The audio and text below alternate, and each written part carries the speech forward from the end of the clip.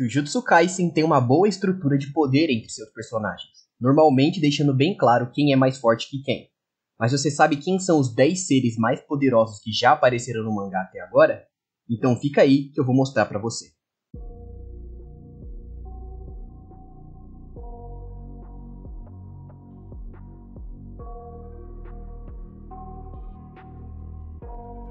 Suave, que quem fala é o Vinícius e como vocês estão? Eu espero que bem. E no vídeo de hoje eu vou fazer uma lista baseada na minha opinião falando sobre os 10 mais poderosos do mangá de Jujutsu Kaisen. Então eu tenho que deixar claro que essa lista é como se fosse atemporal. Eu vou considerar tanto os personagens que ainda estão vivos atualmente quanto os que não estão. E isso inclui feiticeiros e maldições. Mas eu não vou considerar Shikigamis como Mahoraga porque ele faz parte de uma técnica e não é verdadeiramente um ser que tem livre-arbítrio, beleza? Então é como eu disse, a lista é só minha opinião e você tá livre para discordar, mas não comece a agir como um primata porque senão o Suguru Gueto vai atrás de você. Se for comentar, comente igual gente. Enfim, bora logo pro top 10.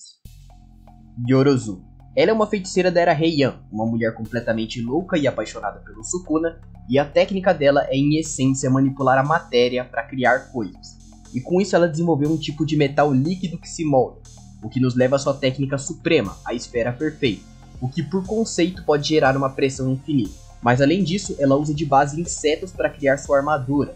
A Yorozu foi capaz de causar uns arranhões no Sukuna com 15 dedos, mas vale lembrar que a ideia do Sukuna era justamente essa durante a luta, ser acertado por ela para o Mahoraga se adaptar, o que acontece cancelando a expansão de domínio dela, lamúrias, sofrimentos e lamentações. Então é por isso que a Yorozu está nessa posição aqui na lista, porque o próximo personagem é o Jogo. Eu acho que eu não preciso introduzir o Jogo para vocês, porque se vocês estão vendo esse vídeo, é bem provável que vocês já saibam quem é ele. Enfim, o Cabeça de Vulcão é uma maldição de nível especial, e apesar dele ser bem subestimado pela fandom, porque ele foi humilhado em todas as suas aparições, ele é um dos seres mais fortes do mangá, ele só deu azar de enfrentar as duas aberrações do verso. Enfim, além da regeneração padrão de uma maldição, o jogo tem poderes derivados de fogo e magma, e a sua expansão de domínio é basicamente uma montanha de ferro e lava. Mas o importante para sua posição na lista foi sua luta contra o Sukuna, porque diferente da Yorozu, o Diogo não acertou nenhum golpe no Sukuna. Isso porque aqui o Sukuna não queria ser atingido, diferente da luta que ele teve contra Yorozu. Mas acima de tudo, com sua técnica máxima, o Meteoro, ele poderia ter ferido o Sukuna, algo que o próprio Rei das Maldições admite que teria acontecido caso ele tivesse sido atingido. E obviamente, o mero fato do Sukuna ter reconhecido o Diogo como alguém forte já fala muito sobre o nível dele. Maki Zenin. A Maki do começo é bem fraquinha mesmo, mas depois dela ser gravemente queimada pelo jogo e ter queimaduras permanentes, ela foi posta em uma situação terrível, onde a sua irmã Mai se sacrificou e levou a pouca energia que a Maki tinha no corpo. E após ela ficar com zero energia e ativar sua restrição celestial, por assim dizer, ela se tornou muito mais forte. Ela sozinha massacrou o clã Zenin, que era um dos três grandes clãs de feiticeiros da Era Moderna, e após alguns outros eventos, ela debulhou o Naoya duas vezes, tanto Naoya humano quanto ele maldição. E ela até se manteve contra o Sukuna de 15 dedos, tendo sua energia suprimida pelo Megumi. E eu sei que em poder bruto ela até é inferior ao Diogo, mas ela tem uma arma amaldiçoada que me faz colocar ela nessa posição, que é uma réplica da Libertadora de Almas de Fushiguro Toji, uma espada criada pela Mai e que literalmente causa danos diretamente à alma do alvo. Com tudo isso somado, resulta em uma calamidade do mesmo nível físico de Fushiguro Toji. Como eu falei, a Maki tem o mesmo nível de atributos físicos do Toji, mas o Toji tem um bônus que é o fato dele ser muito mais experiente, e por isso ele está acima dela na lista. Porque até em equipamentos eles são bem semelhantes, mas a experiência e a inteligência estratégica do Toji fez ele vencer o Suguru Geto e o Satoru Gojo quando eles ainda eram adolescentes, e depois de ser revivido em Shibuya, ele massacrou o Dagon. Mas é como eu disse na posição da Maki, se tirar as espadas que dão dano na alma e botar eles para lutar contra o jogo, eu iria de jogo. Mas comentem aí o que vocês acham da ordem entre esses três, faz sentido? Yuki Tsukomi. Na era moderna, a Yuki é uma das quatro pessoas no nível de um feiticeiro de grau especial, o que de uma forma prática significa que ela é capaz de destruir um país. A mestra do Aoi todo tem em seu equipamento, Garuda, que é um Shikigami transformado em ferramenta amaldiçoada, e ele se molda de acordo com a necessidade. Com ele, ela destruiu uma maldição de grau especial com um único chute. Isso porque o conceito de sua técnica, Bombaye, é infundir uma massa imaginária para potencializar os seus golpes, que garante para ela socos capazes de ferir o Kenjaku no corpo do Suguru Geto. e ela pode imbuir essa massa não só nela, como também em Garuda. E ela é realmente muito poderosa, mas só com isso ela não foi capaz de vencer o Kenjaku.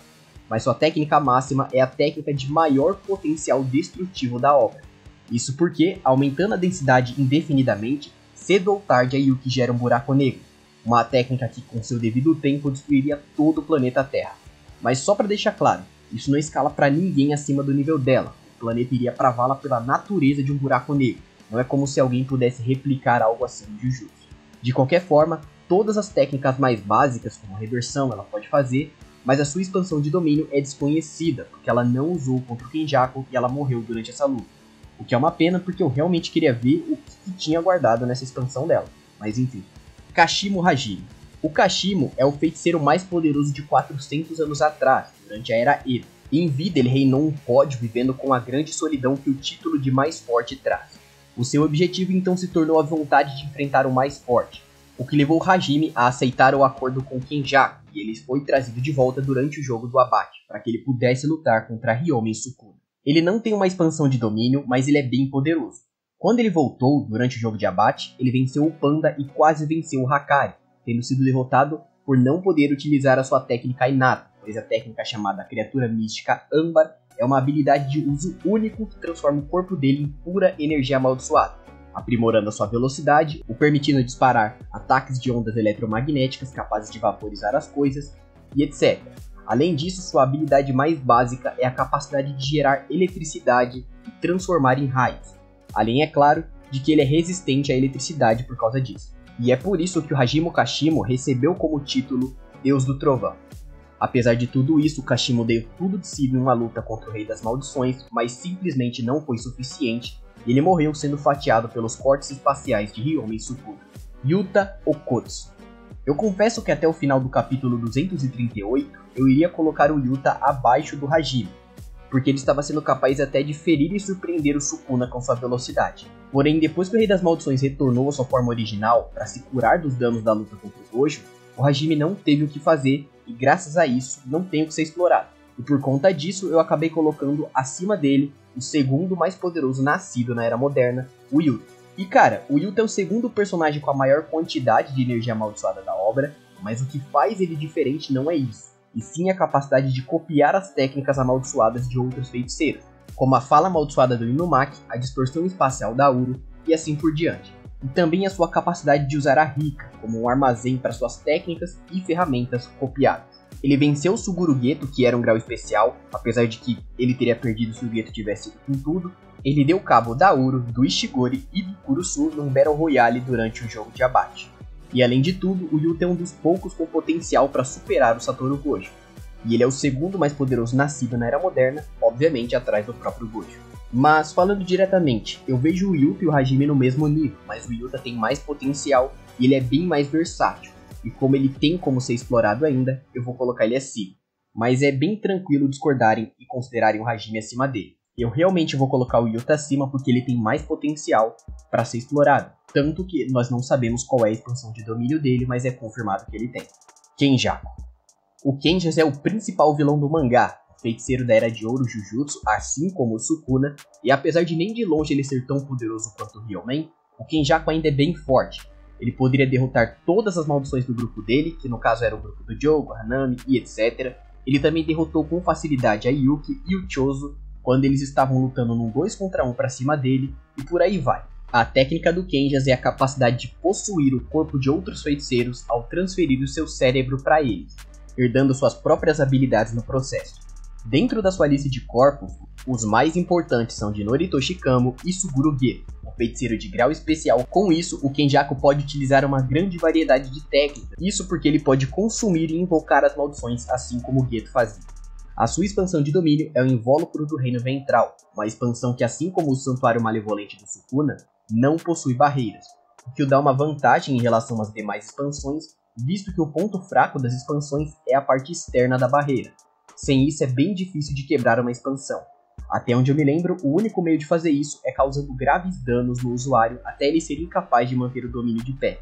No geral, eu vejo o Kenjaku sendo superior ao Yuta em poder puro e simples, além, é claro, da experiência. Até porque a Yuki já tinha um nível próximo ao do Yuta, e mesmo num 2 contra 1 não deu conta do Kenjaku. Apesar de que ele só não foi junto da Yuki no buraco negro, porque 15 anos atrás ele deu duro pelo seu plano e conseguiu a habilidade de antigravidade de Kaori Itadori. Sim, o vilão principal do mangá é Satoru Gojo. O prodígio do clã Gojo e segundo feiticeiro mais poderoso da história, Satoru é ridiculamente superior a todo mundo abaixo dele. Isso ao ponto do Kenjaku morrer de medo dele, maldições de grau especial serem saco de pancada para ele, e mesmo seus dois alunos mais poderosos, o Yuta e o Hakari, mal suportam um soco sério dele. De uma forma geral, o Gojo é mais alguém difícil de lidar do que propriamente poderoso. Para vocês terem uma ideia, o Yuta tem duas vezes mais energia amaldiçoada que ele e o Sukuna quatro vezes, mas o refino natural do Gojo, somado à eficiência dos seis olhos, fazem uma diferença colossal aqui. Foi por isso que, mesmo dentro do Santuário Malevolente sendo metralhado de fortes, o Gojo tancou tudo e ainda disse que em eficiência ele era melhor que o Sukuna. Isso é verdade, querer competir com a eficiência do Gojo não dá. O maluco mal gasta energia naturalmente por tão otimizado que é o refino dele, mesmo ele sempre mantendo a técnica ativa. Além disso, ele também é quem tem a maior quantidade de técnicas mais mortais. Isso porque a sua expansão de domínio, o vazio imensurável, era tão perigoso que mesmo o Sukuna admitiu que tinha que tirar essa carta da manga do Gojo durante a Batalha dos Mais Fortes. Mesmo tomando os efeitos dela por 10 segundos, o Rei das Maldições perdeu a capacidade de expandir seu domínio e quase foi derrotado. Além disso, o Gojo tem o roxo, uma técnica que funde a atração do azul e a repulsão do vermelho, formando uma massa imaginária que desintegra os alvos, e se pegar em cheio é basicamente um hit. Teoricamente, a técnica máxima do Saturno é o vazio irrestrito, mas nós não temos uma confirmação disso. O que nós sabemos é que essa técnica amplifica o poder do azul e do vermelho, mas até onde foi mostrado, ela só expande o alcance, transformando o que seria uma esfera de energia em uma explosão omnidirecional, basicamente um ataque que levaria o próprio Gojo junto. E por último, o Gojo tem a melhor defesa da obra, o Mundo, uma barreira espacial semelhante ao paradoxo de Zenon sobre Aquiles e a tartaruga, que basicamente, quanto mais perto um ataque chega dele, mais lento infinitamente ele se torna e ele nunca alcança Saturno. Graças a isso, o Gojo foi o maior oponente que o Sukuna já teve, quase derrotando o rei em três momentos da luta e pela primeira vez na história o fazendo sentir medo, a apreensão de estar perto de perder. E é por isso que se eu tivesse que resumir o Satoru Gojo a uma palavra, seria eficiência. Ryomen Sukuna. O Rei das Maldições chega ao topo da lista sendo o top 1 do universo de Jujutsu. E ele, assim como o Gojo, é ridiculamente superior a todo mundo do terceiro lugar para baixo. Contra qualquer personagem além do Gojo, é uma diferença simplesmente discrepante que o Sukuna randomiza. Com 15 dedos ele massacrou o Jogo em Shibuya, e com seu poder completo faltando apenas um pedaço da sua alma, o Sukuna venceu o Satoru em uma luta extremamente apertada, e logo depois disso ele randomizou o Hajin. E os principais pontos para o Sukuna ser tão poderoso assim são, primeiro, a sua energia amaldiçoada, porque ele tem o dobro da energia amaldiçoada do Yuta, que é o segundo personagem com a maior reserva de energia da obra. Além disso, o Sukuna tem um refino colossal no uso dessa energia, que faz ele rivalizar com o Gojo no quesito expansão de domínio, inicialmente levando vantagem pela dele não possuir barreiras. Mas, mesmo depois que o Gojo se adaptou e trocou as propriedades da sua expansão, o Sukuna mostrou que pode fazer o mesmo. Fora isso, a experiência de alguém que reinou durante o auge do Jujutsu, a Era Heian, é algo absurdo também. Ele também tem suas armas, mas atualmente ele só tem uma delas em posse, que é o Desmantelador Jimu, uma arma capaz de disparar rajadas elétricas, e as outras nós não sabemos nenhuma informação. E por último, o Sukuna, ao possuir o corpo de Megumi Fushiguro, conseguiu a técnica das 10 sombras, o que o permite invocar 10 Shikigamis diferentes, e entre eles está o Mahoraga, que foi quem garantiu a Sukuna uma forma de vencer o Satoru, servindo como uma espécie de professor ao executar um corte espacial, que posteriormente o rei replicou e usou em Gojo para vencer. De qualquer jeito, a diferença entre o Sukuna e o Gojo é pouca, diferente do que acontece com os outros personagens. Porque, assim como um golpe direto do Sukuna derrubou o Gojo, um raio negro no peito do rei o derrubou também, e a luta só continuou pela presença do Mahoraga. E para quem vai dizer que o Gojo disse que o Sukuna estava se segurando, negativo. Se segurar aqui não é sobre não usar tudo o que tem, e sim evitar um gasto desnecessário, usando técnicas como a flecha de fogo, que não passariam do Mugi e etc. O Sukuna tinha que enfrentar os alunos do Gojo, mesmo ganhando, e ele sabia disso. Então tudo que funcionaria, ele usou.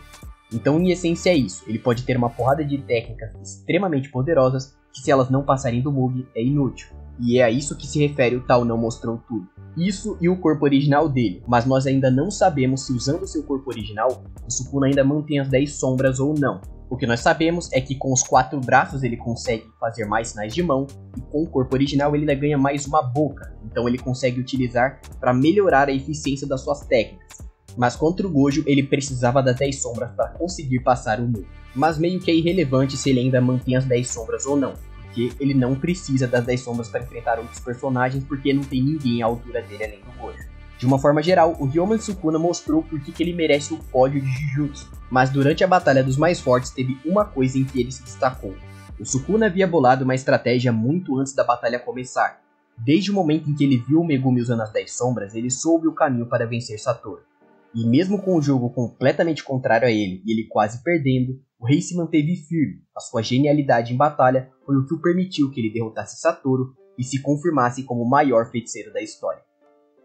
E como menção honrosa, não podia faltar ele, né? O Takaba. O personagem cuja técnica poderia dar cabo tanto do Satoru quanto do Sukuna, bastando ele achar engraçado. Mas como o homem não controla isso da maneira que deveria, ele acaba sendo mais fraco do que o povo que está nos 10 lugares da lista. E uma personagem que está numa situação parecida é a Anjo. A escada de Jacó quase deu cabo do Sukuna com os 15 dedos, mas para um combate real ela abaixo dos outros personagens. O roubado dela é só a escada de Jacó mesmo. Aliás, ainda não tanto que foi a Gadice que impediu ela de dar cabo do Sukuna. E por último, teria o Tengen, que pelo conceito dele era para ser tipo um top tier de Jujutsu, mas ele sim é bucha, o maluco não faz nada mesmo com tudo a seu favor. Enfim, essa foi a minha lista sobre os seres mais poderosos de Jujutsu Kaisen, baseado na minha opinião sobre os feitos e citações dos personagens que aparecem até o capítulo 241 do mangá. Comentem aí se vocês discordam de alguém estar em uma determinada colocação e explica por quê, e aí nós trocamos uma ideia. E caso vocês queiram, comentem aí a lista de vocês, falando cada colocação. E se quiserem explicar também, sinta-se à vontade. Eu vou ler todos os comentários e se eu ver algo interessante eu comento, mas que eu vou ler é confirmado. Enfim, eu já estou me estendendo demais nesse vídeo. Eu espero que vocês tenham gostado da edição e do tema. Até a próxima. Falou!